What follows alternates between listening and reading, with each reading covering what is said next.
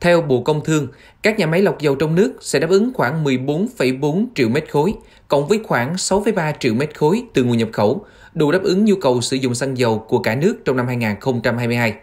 Dự kiến tổng nhu cầu xăng dầu của thị trường trong nước năm 2022 khoảng 20,6 đến 20,7 triệu mét khối. Sản xuất trong nước sẽ đáp ứng khoảng 14,4 triệu mét khối, nhập khẩu gần 6,3 triệu mét khối. Riêng quý 2 năm 2022, nhu cầu xăng dầu trên cả nước khoảng 5,2 triệu mét khối. Nguồn cung dự kiến đạt 6,7 triệu mét khối. Trong đó, nhà máy lọc dầu Nghi Sơn cung cấp khoảng 1,8 triệu mét khối, nhà máy lọc dầu Bình Sơn Dung Quốc cung cấp khoảng 1,9 triệu mét khối. Như vậy, nguồn cung đủ đáp ứng nhu cầu tiêu dùng quý 2 và tồn kho khoảng 1,5 triệu mét khối để gối đầu sang quý 3.